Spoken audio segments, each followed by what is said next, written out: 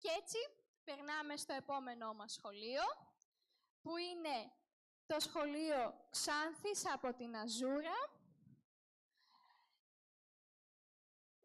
Ε, και δεν θα πω τίποτα, θα τα πούμε όλα μετά. Πάμε να δούμε το βίντεο.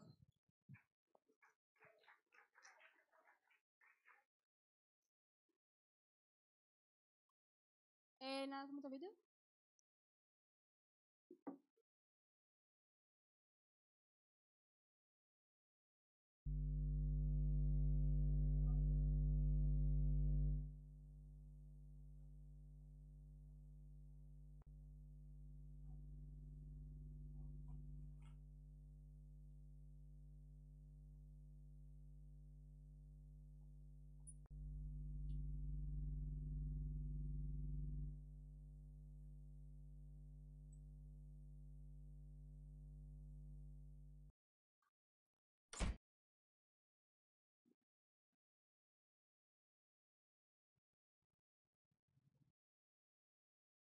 Mm-hmm.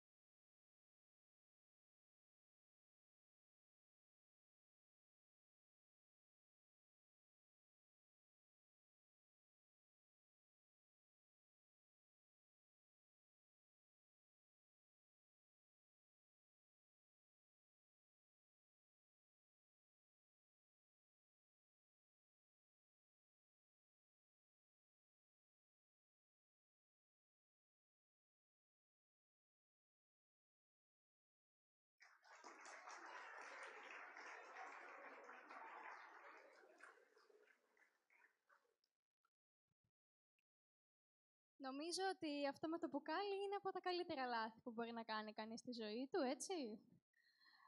Ε, εντάξει, μακάρι να συνέβαινε στον καθένα αυτό. Δυστυχώς δεν συμβαίνει στον καθένα.